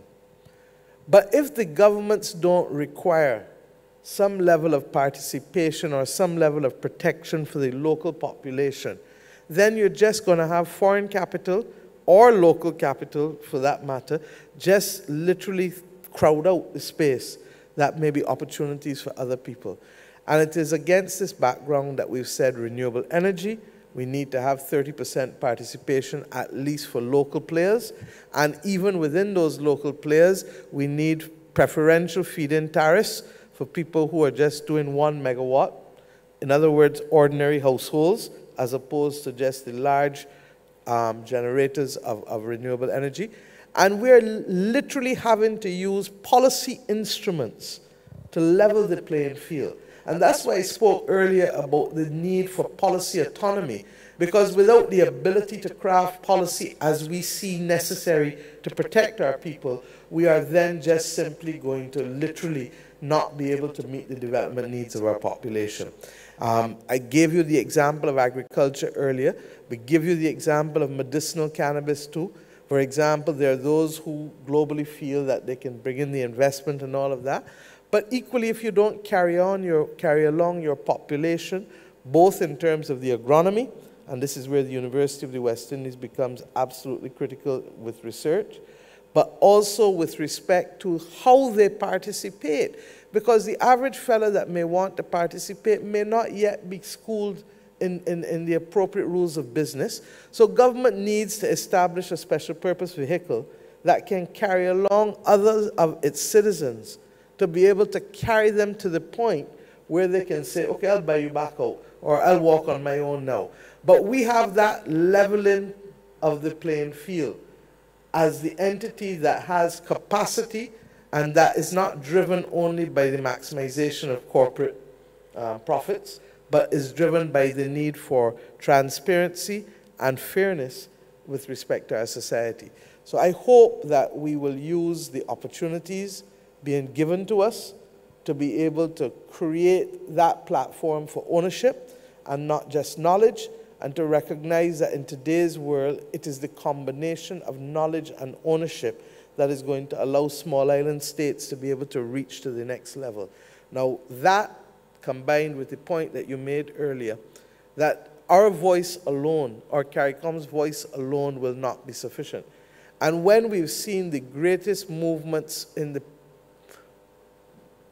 post um, colonial era, and I almost went to say pre colonial too, because in fighting the battles, it comes when we partner across geographical regions so that we were able to fight the war for decolon decolonization when Africa, the Caribbean, Latin America, Asia all said enough is enough is enough. We were able to fight the war against apartheid when equally we came together. We were able to have a new arrangement with Europe, um, with Lomé, when we came together. I am suggesting strongly, and that's why we've been doing so much work with the African Union. That's why we've been reaching out to other regions in the world through ECLAC. Um, we are at that point again where the countries of the Caribbean, the countries of Africa, the small island states and countries of Asia, and, and, and in particular also the countries of Latin America, need to be able to come together to call for that reform of the global financial architecture and to call for the mobilization of resources for our countries that is not based on conditional access on a Washington consensus that is designed to fuel the benefit and benefit a few greedy people, but that is intended to be able to remove poverty from this world. And if we can't, and what frightens me, if we can't seem to get it right purely on the issue of vaccines, which is so obvious as to why we need to have vaccines across the world, not simply to protect those who you want to help as an act of charity, but to protect yourself in the developed world as well, because the race against mutations means that you are liable to be at risk again if you don't have the whole world vaccinated. Now, if the world isn't getting it with vaccines, what confidence do we have it will get it with the global financial architecture? It's a battle, but I believe that it is one that we cannot walk away from. And I understand why people are frustrated, but believe you me, it is absolutely critical for us to get this right, cooperating with each other across the different geographical regions. Because, in the same way that the world rises up in countries, countries have seen movements rise up, then I fear that globally, the rest of the world, particularly with the benefits that technology affords our young people and other people, that the rest of the world is going to coalesce around the need for absolute justice. Because the injustice is too heavy a burden for the rest of us to bear. And, and, I hope that we can continue to work together against those backdrops of, of, of having to fight these big, big battles. Because there is no way Kenya should be borrowing at 9.8% when Denmark is borrowing at 0.1 or there is no way that Ghana should be paying five to 600 basis points more than Greece, whose record of, of, of fiscal um, difficulty is well known to the world, um, and who, with Ghana, didn't have that same record, but who are penalized simply because they don't have access to safe assets. They don't have the uh, they don't have the European Central Bank behind them. And that's the point. Yeah. So the European Central Bank makes the difference in the same way that um, the US, because it's the reserve of the world, has the benefit of all of these cheap borrowing. And, and in truth and in fact, if the world had a different deal for these developing countries, they would be able to borrow far more to be able to do far greater things and, and not have the kind of inequity that we're seeing. So the inequity that is presenting itself in the advanced economies within their territorial boundaries, regrettably, is reflected globally in the global community as well. And it seems to be acceptable to them on both counts. And that's what concerns us. You give me three quick ideas, Prime Minister, if, uh, if I might. Uh, first, a general one on, on education. I, you're exactly right.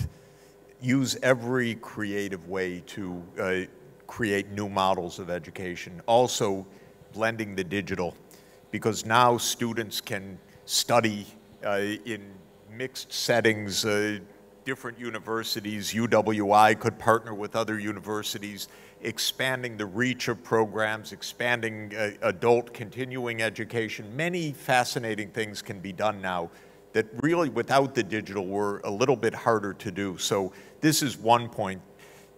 And as part of that, you will be able to develop uh, area, uh, have and deepen areas of great expertise in marine ecology or climatology or uh, other dimensions that the world will flock here, uh, both economically and, uh, and, we're, and we're trying to do that now with, with coral reefs and, and to have a major competition Exactly. here that fights, that, that says, look, we have to pay forward by rebuilding our coral reefs globally. So I think that can do that so many here. things to be done on that. Second uh, point, please move quickly with your colleagues around the world. Secretary General will issue a report on the future that we want. Uh, he's mandated to do that this fall. Get this message in there. Uh, and I think it's very timely, very urgent. Every grouping uh, possible. And the third, it comes back to where I started. Maybe the women leaders also you, uh, uh, Jacinda Ardern, uh, the uh, Prime Minister of Finland, the Prime Minister of Denmark, you not only are, are, are world's women leaders, but you have a standing. You can say, we've done a good job, thank you. So we're going to say something uh, because we've done a good job, a better job, frankly, and we need to make the point. And one of the things about I think that group, wherever they are, Sheikh Hasina in Bangladesh, all would join in this view. None of them represents a point of view that says for us but not for others. They're all very social democratic in ethos. They're all looking outward. They're all trying to solve global problems. And I think it could be compelling, uh, by the way. Secretary General in his list of priorities said that gender equality is the greatest issue of our time. So the women leaders could say, Secretary General, thank you very much. We would like to see a financial program that makes sense for the post-COVID world. I think we can really get there, but I wouldn't lose the momentum now because this could be the breakthrough. I appreciate that. I know that um, with the time that they've given us, um, I'm looking for Don. He's hovering. You're ready for us, or we have to take questions, or that's it? I, I, I realized that um, as a cricketer that you were trying to come back in as a 12th man. Thank you very much.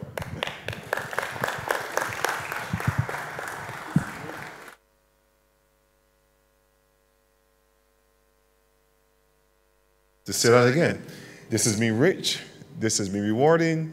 We've received a deep education. The interactive engagement has begun. Troy, can you uh, come here? Come. And I say it's begun because we receive comments. Those are comments uh, via YouTube, via different, via our different platforms. I think it's appropriate that we have a professor of economics at our University of the West Indies to moderate this, this aspect. Time is very limited, and I'm going to hand over now to Professor Troy Lorde, Dean of the Faculty of Social Science. Good afternoon, colleagues. And in the interest of time, I'll just jump right in. Uh, we have a number of questions. I'll just give a few of them. Uh, this comes from a graduate student in Antigua. This is Professor Sachs. So it arose from Prime Minister's comment about limited fiscal space and the need for concessional financing for SIDS. So, Professor Sachs, what are your views of China's patient lending approach as part of its Belt and Road foreign policy initiative? Of China's Belt and Road initiative. What, what are your thoughts about their approach? I, I'm, in general, a fan of the Belt and Road Initiative. Right. Uh, I think it's very constructive. Uh, the G7 got jealous of it, so they announced their own uh, initiative last week. To me, it was a little bit like kids in the playground. They just couldn't play in the same playground together. So they said, okay, we'll make our own playground. Uh, but I would rather that the G7 and China say, yes, this is a good idea. We will join together to promote infrastructure around the world. But it basically comes to the same point that we've just been discussing. The Belt and Road Initiative is an initiative to expand the infrastructure of developing countries. That's good. and we should applaud that. The United States got afraid of it because, oh, that's something for China. That must be bad for us, which is, again, a rather primitive zero sum thinking and a dangerous kind of thinking. That's why the G7 said, we'll do our own initiative. Okay, maybe if all sides agree we need initiatives, then what your prime minister and other world leaders will suggest is we need a global framework, and then we could get that globally done. Okay, thank you. Prime Minister, do you have any comment? No. no, no, no. I'm full in agreement. Yeah. The reality is that for us, it is, and I'm glad that Jeffrey used the word almost childish, because we're not going to borrow that which we don't need, right. that which we can't afford to borrow. And whether it is as part of the Belt and Road Initiative, or whether it is from the North Atlantic countries who, quite frankly, have left a gaping hole in terms of development finance for the last few decades. Um, the bottom line is that we feel that there ought to be a serious development compact, as Jeffrey said in the, the main speeches just now, that will help us finance education, help us finance greening, help us finance digitization, help us finance poverty alleviation. And regrettably, we haven't been able to see the mobilization of that money for the climate alone and greening, far less for the education and the digitization. So I look forward to not just China, but the G7 and whosoever will, putting together a framework that allows us to be able to access funds at affordable rates in a way that allows us to pursue the normal development goals that any country would want to pursue. Okay, thank you. This question comes from Trinidad and Tobago. Given what's required in education, economic restructuring, and societal makeovers, is it necessary to revise the SDG targets beyond 2030? I think we better hurry to reach the goals in 2030. Though this has been a big setback, if we do the things we've been discussing, there could be really very fast forward motion because things can happen now faster than in the past, especially because of digital empowerment. So I don't want to change the uh, goalpost now because that'll make it too easy for rich countries to say, well, we don't have to do too much. This development will happen 20 years later. Uh, no. I want to keep the pressure up so that they really do what they need to do to help the whole world to develop. And I think that that's the reason right now not to focus on what can or can't be done by 2030, but rather to focus on the question, how do we dramatically accelerate? And if it was 15 billion, 15 trillion for the 1.2 billion people in the developed countries, what about the six plus billion people in the developing countries? Okay, thank you. And the final question, um, so we can wrap it up. This is to both of you. Um, now, I've heard you say it, certainly, really, and you've made the point about the inadequacy of GDP, but yet it's still being used, certainly by UN and other inter international institutions, as a criteria for concessional financing. And so, really, in, instead of GDP per capita, and we agree that it's a very flawed metric, what would you propose to be used instead? Are, are we suggesting that we don't use GDP per capita at all? we're not saying that. We're saying that in addition to whatever else you may want to use, in an ideal world, we would want a multidimensional vulnerability index. What we are, however, hearing is that we're not going to get that in immediacy. So we are pushing strong for vulnerability to be a key criterion in the overall mix, which will still have in some elements of GDP per capita. Um, for us not to do so would be to ignore our realities. And the mere fact that Secretary Mnuchin and Secretary Pompeo, when I chaired CARICOM last year, I wrote them asking once again that consideration be given for countries like Barbados and the Bahamas and others who were graduated from the World Bank, but who now, in the middle of a pandemic and a climate crisis, could access, could not access concessional funding they accepted the argument and agreed that we should be able to have access to it. And I think our matter goes before the World Bank Board um, this week. This week. After a, it took a whole year. And, and I want to say something quick on this too, because there's a belief that you can do things normally in the middle of a war. When in truth and in fact, what matters in the middle of a war is time and speed. And that is why, even in terms of some of the capital projects that we're doing, we've made the commitment that we're going to have to have expedited procurement, but we will lay all of the results before Parliament with any contract over a million dollars. Why? Because at the end of the day, if you spend the time trying to execute in the normal way, then you'll see the bodies outside lining up that have not benefited from the jobs or from being able to access food or whatever in the time. It is no different on some of these other issues. And I hope and pray that, that we begin to understand that the world in which we live does require exceptional access, does require new measurements, does require new criteria, and regrettably, they know to do it when it suits them. Because with the Financial Action Task Force, there are a number of countries that only find themselves now on the FATF's gray list because of the re, and you're smiling, Troy, because of the redefinition of money supply from M2 to M3, which immediately catapulted a number of countries, Barbados, Jamaica, Ghana, Botswana, catapulted all of us into a new weight division that we were not prepared for. So how does it suit you to change definitions and proxies when it suits you?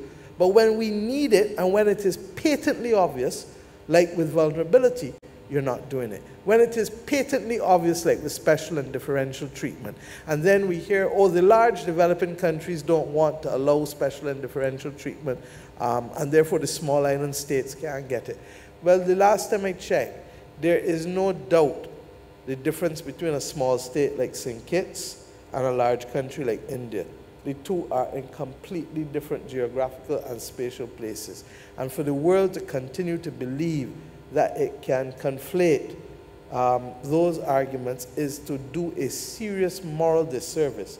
And it is why then men like Professor Sachs and Pope Francis then have to be the voices of moral reasoning to the rest of the world.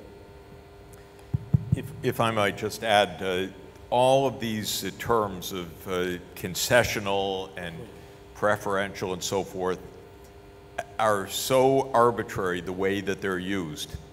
Because really, if Barbados, it's not even preferential, if Barbados could have the same terms that the US government has, that's not preferential, that's just the same terms. Your problems would not be here because you'd be borrowing for 30 years at 1.5% interest. So the problem is that the developing world faces such adverse terms that we're talking about partially overcoming that adversity. It's not really something preferential. It's the preferential is a few rich countries. That's preferential. Having your currency be the world currency, that's preferential. Being the euro currency, that's preferential. But what the developing countries are asking for isn't preferences or concessional, they're asking for fairness. For the same. If you can borrow at those rates, we want to borrow at those rates. And so I think the language needs to be re examined in our Bretton Woods conference. Because in a new language, we'll be talking about how to ensure that all countries have access to the capital that they need for survival, resilience, prosperity, decarbonization, raising children. And if I may, Jeffrey, it's not only that too, but for, for, for clarity, we have the largest issuance of natural disaster bonds in the world, clause, bonds with natural disaster clauses. Yep. We did it because it makes sense. Because if an event happens, the first thing that the person who lent you the money is going to worry about is, am I going to be repaid? But if you have those clauses in there, the man just knows that if X trigger happens, then for two years, the debt, the capital is deferred and the interest is capitalized for two years. Um, two years interest is capitalized at the back end. Now, if ever there is a clause that creates certainty, it is that. So why do the IFIs, in particular the multilateral development banks and the regional development banks, as well as the, um, the others, why do they resist what is the most obvious resolution of, of, of, of obfuscation that there is? You are bringing clarity and certainty to a situation, but yet we cannot get the kind of movement that we need to see. And it shouldn't only be natural disasters, but we now learned that we should have had it for pandemics, because when an event happens that so disrupts your capacity to earn, then you need a standstill with respect to debt in order for you to be able to meet the needs of the time. It's such a good idea, and it is uh, so clear that I think it can be fully understood. I apologize for, I apologize, well, I can't really apologize for Donald Trump. Ah! Uh, he was awful for everybody, terrifying. Uh, but I apologize also for his treasury, which wasn't the swiftest. Uh, the, the Treasury Secretary, not very well informed, uh, not very well educated. He came from Wall Street.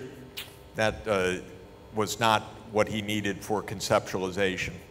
But I'll just say a, a word about another great woman leader, I hope uh, not out of place. But uh, when I began studying economics, I took my first graduate class 48 years ago. and a young, uh, a, young, brilliant first year professor walked into the class with a pile of notes uh, from Yale University and um, gave an incredible course which inspired me to become a macroeconomist. Um, that first year young professor was uh, Professor Janet Yellen, uh, who is now uh, our finance minister, uh, our Secretary of Treasury. So we'll discuss with her also. She's brilliant. Uh, and so uh, I think you'll have a, a, a, very wonderful conversation with her that was not just as fruitful as it might have been a couple of years ago. So there, I'm getting very optimistic in this conversation. Uh, I think there's a, a way forward. Thank you. Thank you very much. Thank you. Turn it back over to the Master of Ceremonies. Thank you very much, Troy. And I think we deserve to applaud these two presenters again and again. We are at that juncture where we have to say, uh, sorry, it's come to an end. Uh, we are at the, the, point where we're offering the vote of thanks. And I want to begin by paying tribute to the two presenters first. Again, we say thank you for accepting our invitation. Thank you for spending the time, obviously, in reflecting on the, the theme. Uh, we gave you the theme, you ran with it. You be uh, if I'm allowed to, to be frank, Prime Minister, at one point I sent you a message, and which was to cut through all the protocol. Forgive me, principal. I know you're watching it while you're quarantined. cut through all the protocol required where we have to communicate to the Prime Minister through the office of the principal. That is the protocol. But it came to a technical issue that I had to discuss with the production team here at the Errol Barrow Center for Creative Imagination, wonderful staff, wonderful people behind here, Carla, Nicole, Paula, others take a bow. And it meant that I had to more or less map out what the format would look like. And uh, the Prime Minister responded immediately and um, made it very easy. It was just simply agreed, done, go ahead. And uh, that was that was magic because um, uh, to, to go through the formal procedures to, to outline what we wanted would, would, have been, would have taken some time. Professor Sachs, I also want to pay tribute, like I've, I have done, to the Office of the Prime Minister for, for, for facilitating this. I also want to pay tribute to you as well. You not only uh, work well with the team from the Office of the Prime Minister, uh, Savannah Pearson, when we contacted from our office, your uh, assistant was able to provide us with every bit of information we needed in the creation of the poster and other um, aspects so associated. And again, I want to pay tribute to your team at Columbia University.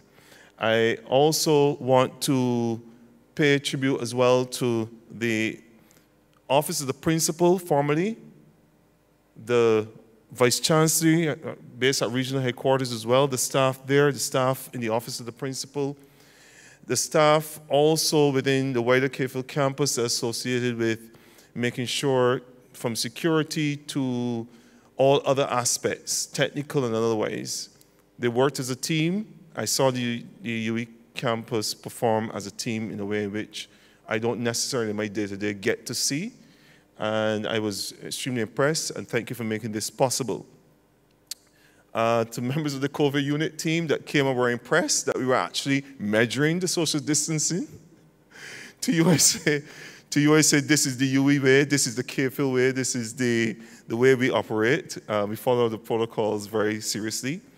And um, to the interactive audience, I also wish to say thank you. Now, I want to also pay tribute to the Office of the Governor General, who responded very quickly as well. Again, record time. And um, I want to say a special thank you, Her Excellency. And uh,